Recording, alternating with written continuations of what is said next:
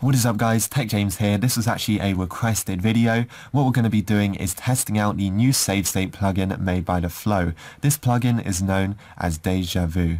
So what I'm going to do to explain this more, I'm going to go on my computer and I'm going to show you guys the latest Wololo article which kind of tells us a little bit about it. I'll also show you the main plugin GitHub um, just so we can learn how it works and basically what it does and then we're going to use AutoPlugin 2 to actually install it. You should be able to install it using AutoPlugin 1 as well but let's go on my computer, I'll show you guys what it does and then we can actually get to testing it out. So before we install it, we should read a little bit about it. So we're just over on Wololo.net and they've actually made an article about Deja Vu made by The Flow. So this is a save state plugin and um, it actually basically sums it up here pretty well. So let's read about it. It says, like save state functionality in emulators, this plugin works by taking a snapshot of the contents in RAM and then loading them back whenever you wish, allowing you to save at a point in the game where saving isn't normally allowed. Um, so if you don't really understand Let's say you're playing a game, I don't know, any game would work, I don't know, Minecraft. Um, what you can actually do is just play some random point in the game and then save it. Actually, maybe Minecraft isn't the best example. Maybe you're playing like a fighting game like Tekken or something, and um, you're like in the middle of a fight. Um, I guess it would actually work in there. So obviously if you're in the middle of a fight, you're not really supposed to save the game, um, but it should actually allow you to because it's going to take a snapshot of the RAM. Obviously we will test it out in this video and see what happens.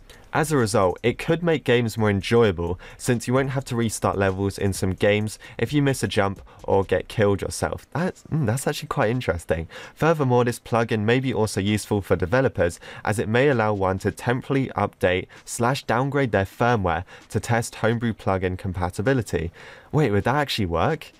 That's crazy. I actually did not think of that. Um, of course, it's working in games. Maybe we'll have to try that in another video and see what happens. I guess we can just focus on games for this one. Now, there is a bit of an issue with it. Well, not really an issue, but it can take 400 to 500 megabytes um, each RAM snapshot. So, yeah, that could fill up your SD card quite quick if you're doing this on multiple games. Um, that's why I'm just going to test it on one game for this video. Um, and there's also some kind of like explanation right here of how you can actually get it to work.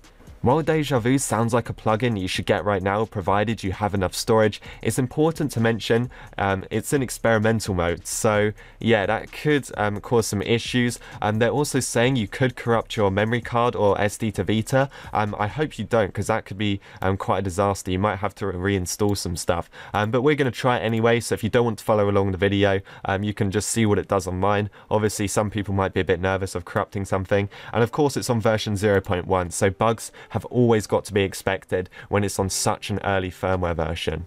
It also says here, if these caveats don't scare you and you have a secondary PS Vita, um, you can always test it. So that me that might be quite a good idea. Um, I do have the PS Vita and PS TV, so maybe I can test it on both. Um, but let's go back onto my PS Vita. Let's launch up AutoPlugin. I think I'll use AutoPlugin 2, and we can install it and try and get it working.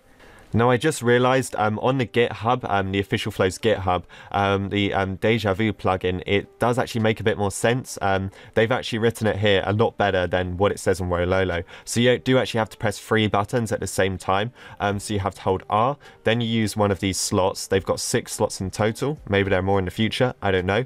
And you also have to press the PS button, and it's actually going to save it in a save states folder on your UX0. So we're definitely going to try this. Let's go and install it with AutoPlugin, and then we can basically see how it works.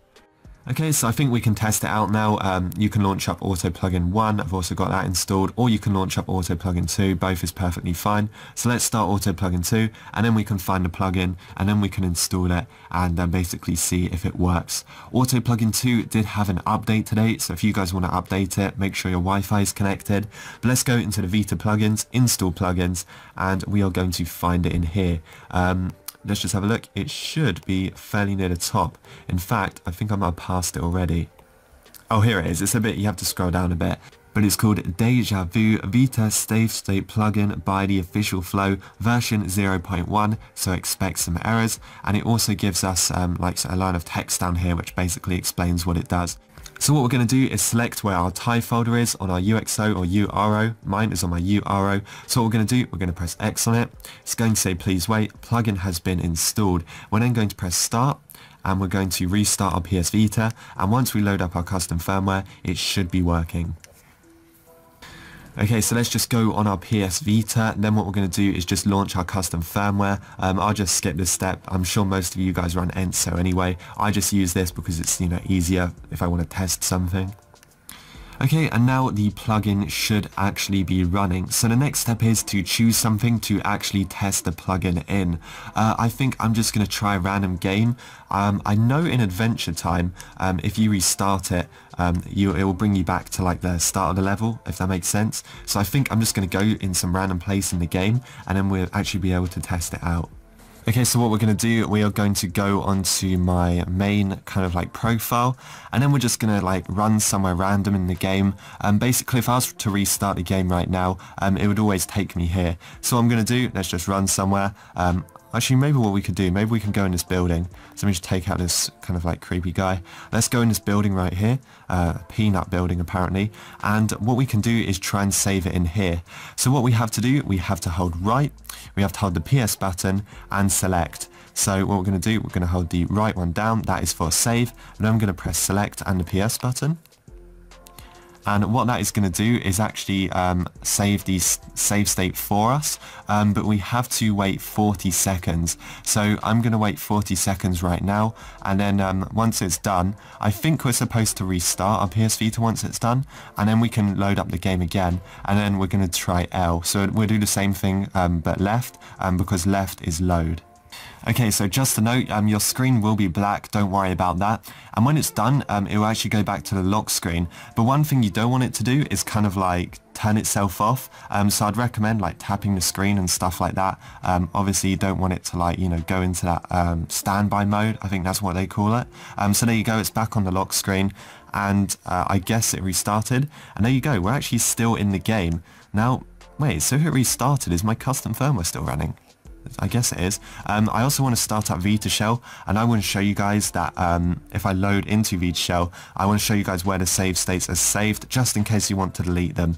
So you go into the UX0 and you look for the save state folder somewhere in here, let me just find it. Okay guys, so I just realized something. Um, they said in the guide that it saves it to your UX0, um, but it's not true. If you have an SD2Vita, it will in fact save it to your UMA0. So if you're the flow that's watching this, I guess you could add this to the GitHub. Um, but yeah, if you are using a um, SD Vita, you need to go inside your UMA0, which is your official memory card, and then you can find the save state folder in there. So if we go into it, there it is. It's just called um, state select, depending on what button you pressed, dot bin. And as you can see, it's 460 megabytes. So now what we're going to do is we're going to load it. So let's go into Adventure Time, let's start it up, and when we load it, we should be back in the, um, the peanut house, I don't know, whatever that thing is. And um, yeah, once we load it, it should spawn us back there. Instead of starting us at the start of the level, I know it wasn't the best example of a game to play, um, but I just thought it'd be a simple one so everyone can kind of get the idea of it. So I guess we go on play game, um, and then we can load back into my file and then we should be able to kind of like load it up. Oh, this is also a good example. If you guys just watch, you know, after a second, it will put me back here at the start, but obviously we don't want to be at the start. We want to be back in the house. Uh, so what we're going to do is we're going to do the same thing, but this time we're holding L left for load. And then what we're going to do is we're going to hold that, we're going to press select and the um, home button, PS button, and then again we're going to wait the 40 to 60 seconds. Obviously make sure your device doesn't turn off, you know, make sure to kind of move the analog sticks, tap the screen a bit. Um, so yeah, when we wait, then it will bring us back onto the lock screen again, and hopefully uh, this time we're going to be inside of the house, and hopefully it should be working. Okay, so here we are at the lock screen, and there you go, it works, very cool. Um, hopefully my game hasn't frozen. Wait, what's happening? I think it's okay.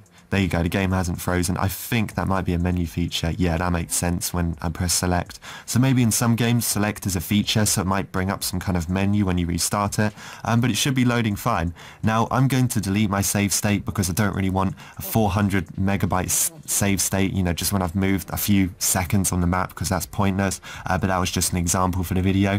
And there you go, guys. This plugin is very good. Just be careful with it. If you do get any errors or your memory card is corrupt, Please don't go ahead and blame the flow because um, he clearly said it's in, you know, very early modes. And of course, this software is free for everyone to get. But that's pretty much it. If you guys enjoyed this video, make sure to like and subscribe. And I will see you guys in the next one.